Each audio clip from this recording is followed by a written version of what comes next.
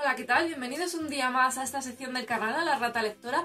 Yo soy Tamara Amado, soy escritora y por aquí tenemos a Sua, que es mi rata Sua, que nos suele acompañar en estas reseñas que llevamos a cabo y en estos vídeos que llevamos a cabo en esta sección de la rata lectora. Porque es una rata y porque aunque os resulte increíble, le gusta que la lean en voz alta. Voy a enseñaros todos los libros que he conseguido de manera gratuita y os voy a decir de qué maneras podéis conseguirlo vosotros. Pero antes quiero hacer una introducción, así que tenéis que ser un poco pacientes porque después os lo voy a enseñar todos. Bien, esto no es un book haul, es una especie de anti-haul. Eh, que nadie se suspenda por el término que, he empleado en este vídeo y por lo que quiero contaros, porque bueno, en realidad a mí los haul me gustan, eh, obviamente tengo muchos libros comprados en las estanterías que veis aquí detrás y en cuatro estanterías más que tengo llenas de libros en casa y casi todos los libros obviamente son comprados. Pero sí que me gustaría brindaros este vídeo como una especie de reflexión porque YouTube tiene cosas muy buenas como es la posibilidad de pues acceder de manera libre, cada uno con sus contenidos eh, de diferentes cosas, causas, temas y poder llegar a la gente de manera libre y eso está muy bien pero tiene otra parte negativa y es que incita muchísimo el consumismo, porque te lo están entrando por los ojos, te están hablando de ello, te están haciendo que tú quieras lo que tiene esa persona que está grabando el vídeo, ya sea el objeto que sea, te están haciendo incentivar el consumo de las personas. Es obvio que te va a enriquecer mucho más comprarte un libro que una camiseta, pero eso es de lógica. Lo que pasa es que cada uno tiene que ejercer un eh, consumo responsable y en función de sus eh, situación económica y no sentirse mal por la situación que tenga. Y eso pues no lo veo fomentado en, YouTube. La literatura tiene una cosa buena y es que eh, hasta el día de hoy, y digo hasta el día de hoy, es de acceso público. Digo que es de acceso público porque existen bibliotecas donde acceder a los libros de manera gratuita y eh, se ha intentado privatizar ya más de una vez y es muy importante que conservemos esto como una parte cultural que sea de acceso libre, que no haya condicionantes económicos de ningún tipo, porque eh, no puede diferenciarnos la cultura según el dinero que tengamos. Entonces, hasta el día de hoy, la literatura nos facilita eh, esa igualdad. Es muy importante que comprendamos la importancia que tiene que entre todos eh, valoremos y cuidemos el sentido de lo público, la importancia de lo público y en este caso pues de las bibliotecas públicas, que lo comprendamos y lo defendamos, porque si no va a, va a generar unos problemas sociales muy muy fuertes. Bien, esta postal que veis la cogí hace un tiempo, hace unos años, que hubo un movimiento de protesta contra eh, que querían privatizar todas las bibliotecas, el préstamo de libros en la Comunidad de Madrid, que es donde yo resido, pero no creo que sea un problema solo a nivel de, una zona concreta. Creo que esto se puede dar en cualquier sociedad, en cualquier país, en cualquier circunstancia, y hay que estar eh, dispuesto a luchar por ello y a comprender su importancia. Con lo cual, tener libros es eh, bonito, es un vicio de los más sanos que existen, pero también eh, tenemos que fomentar que se vaya a leer a bibliotecas, que se vaya, que se haga préstamos de libros y que sigamos entre todos cuidando de que siga habiendo lectura pública. Ya sé que no todas las bibliotecas tienen las mismas características, que hay bibliotecas que no tienen prácticamente novedades. Por ejemplo, en la localidad en la que yo vivo funciona mal el tema de las novedades en las bibliotecas, pero yo solo tengo que coger un autobús, irme rumbo hacia el centro de la ciudad y allí tengo muchísimas bibliotecas, comitecas, eh, hemerotecas, en fin, hay una red muy amplia de acceso para poder eh, rastrear el libro que estés buscando y desde luego que al final acabas encontrando las novedades en alguna de las bibliotecas de la red porque es una red muy amplia.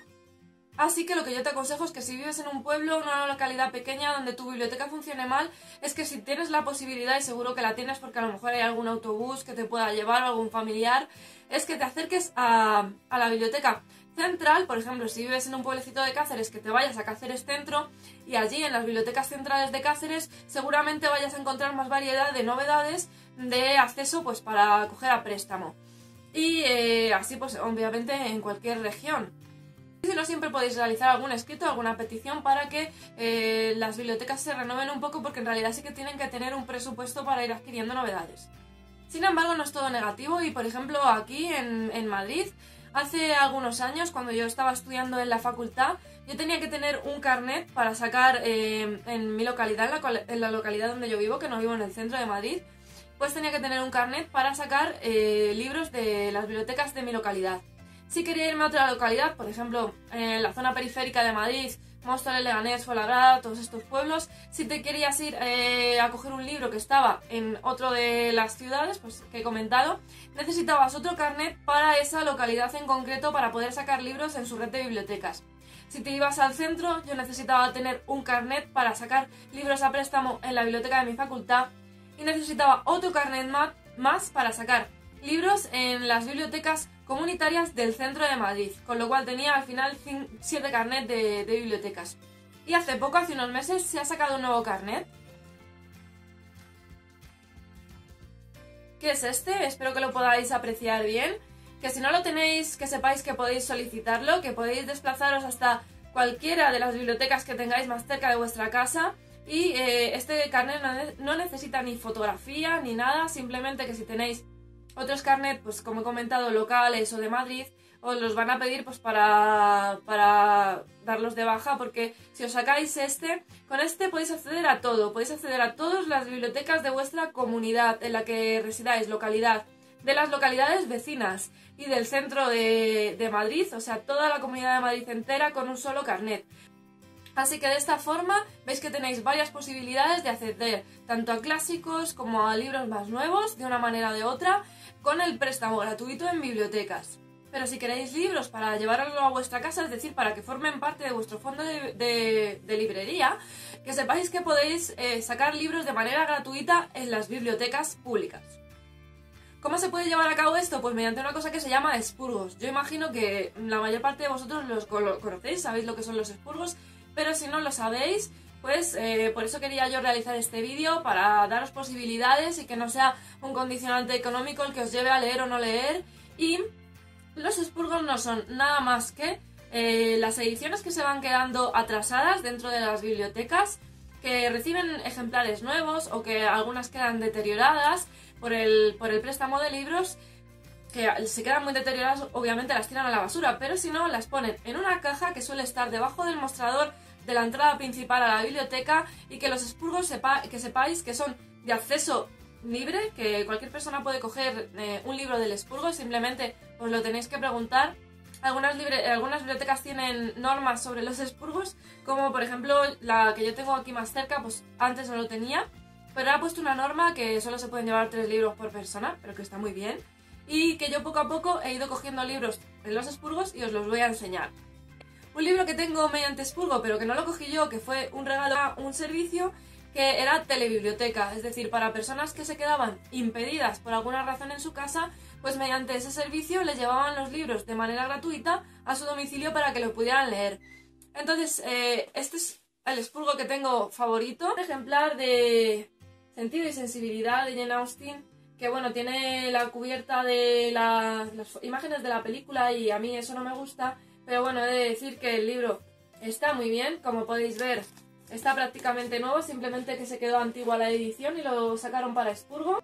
El 93 de Víctor Hugo y sí, Víctor Hugo en la basura y es una edición que no está mal, que no tiene nada deteriorado, simplemente que es una edición así un poquito más antigua. No todas las bibliotecas tienen en Expurgo los mismos ejemplares. Yo os estoy enseñando hasta ahora ejemplares bastante chulos y a lo mejor la vuestra pues tiene unos expurgos que, que no valen para nada, porque he hablado yo con amigos cuyos expurgos de las bibliotecas cercanas eran realmente basura. Pero, pues, que sepáis que el expurgo es libre, o sea que podéis desplazaros, igual que os he dicho, a otra biblioteca y podéis coger un expurgo de otra biblioteca. Eso no, no, tienes que tener el carnet de la biblioteca para llevarte a casa un libro de expurgo. También tengo el vuelo del hipogrifo, que como veis es una edición que está bastante bien, no está ni deteriorada ni nada. Tenía aquí el sello de la biblioteca, pero yo lo quité y, y está bien, es pues como cualquier libro que compras de segunda mano. Una obra de los clásicos del siglo XX de Mers, que contiene dentro tres obras, como son estas tres, Cuando mudecen las sirenas, La máscara de la carne y María, hija de Flandes, no la he leído, por eso he tenido que leer los títulos, y que está bien, que no tiene nada que no tenga un libro que compraríais de segunda mano. La isla de los fósiles vivientes, yo creo que está bastante bien, no lo he leído, pero sí que he leído lo que pone en la parte trasera y me interesa bastante. La canción de la cabra de la editorial Planeta, que como veis es un planeta pues bastante antiguo, pero que está bien, que no tiene absolutamente nada, esta no tiene ni sello ni tiene nada de nada. Más allá del deshonor de McCain, una obra de Lope de Vega, el mejor alcalde del rey, como veis, bastantes obras que están bien. Y ya está, bien, no tiene nada roto. una obra de Mary Higgins Clark, como es El ojo avizor, que yo leí hace bastante tiempo una obra de, de, ella que me gustó bastante, pero hace años y la verdad que no he vuelto a leer nada de ella. Y pues esta novela yo creo que va a estar bien. Esta, por ejemplo, sí que está un poco deteriorada, no sé si lo vais a apreciar, pero bueno, aquí tiene, no sé, tiene como unos mordisquitos que se ve que alguien se la lleva a su casa y pues su perro, su animalico le pegó un bocado. Pero vamos, que la, obra que la novela por dentro está bien, no le falta ninguna página y se puede leer perfectamente. Julius e Isaac, que es una obra que trata sobre el mundo del cine y a mí me gusta mucho el cine, así que me la llevé bastante contenta. Arem, que es un bestseller. Los que vivimos, de Annie Rand, que está, está bastante bien también, lo único que es una edición antigua. La que os he enseñado antes de Arem sí que estaba, es de las que tengo que estaba más deteriorada. El tercer ojo de Rampa, que está pues tiene hasta la sobrecubierta, es antigua pero está bien. El Testamento francés de Maquin, que es una obra que tengo muchas ganas de leer, no la he leído todavía, pero he leído la reseña y yo creo que va a estar muy bien. Y por último, El puente de Banks, que está pues bien, está bastante bien, lo único que tiene aquí restos del celo de la pegatina que tuvo puesta en la biblioteca, pero que no tiene nada más que es una edición antigua. Y bueno, esos son yo creo que todos los libros que tengo de Spurgo. Obviamente no los he cogido todos en un día, los sigo cogiendo poco a poco. Que os animo a vosotros a que echéis un vistazo a los Spurgos y a que, bueno, con un, eh, como digo, de una manera responsable, no llevándoos toda la caja entera de los Spurgos. Pero bueno, pues si pasáis con frecuencia en la biblioteca, ah, podéis hacer como yo y fijaos ya la, la cantidad de libros que os he enseñado que he ido cogiendo de Spurgo y que tienen muy muy buena pinta. Y hasta aquí la sección de hoy de la rata lectora. Espero que os haya gustado. Yo me despido ya. Sua también se despide de vosotros. Y hasta una próxima sección de la rata lectora.